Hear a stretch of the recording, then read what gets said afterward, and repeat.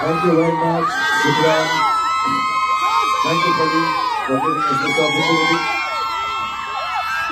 Now, just an answer. I'll answer that for you. I'll, speak with you in two minutes because for me, I love you also, yes. I'm here only for love. So thank you so much, Jeddah. First of all, let me let me just tell you, I've been uh, in Jeddah for the last 14, 15 days shooting a film. And mashallah, everybody here has been very kind.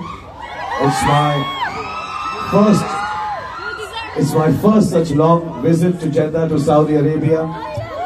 And the Film Commission, His Highness Prince Badr, Muhammad Al Turki, everybody has been very good, but the nicest have been all the people here in Jeddah and Arabia. And for me, it's a very big moment that one of my personal best loved films, Dilwale Dulhania Le Jayenge,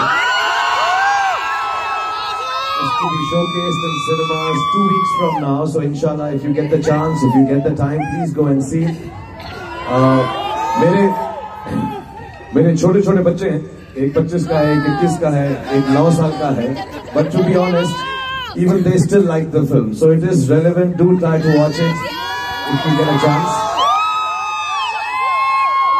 And yes, and yes, please. It's I, I haven't really gone out in public to talk about my new film, but yes, inshallah, if you get a moment, that will also come here.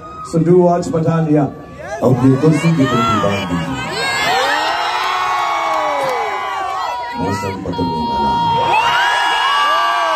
But this is the moment uh, the Red Sea Film Festival has been so kind to showcase this film, and there's such a lovely atmosphere to watch films. I love you too. I love you very much.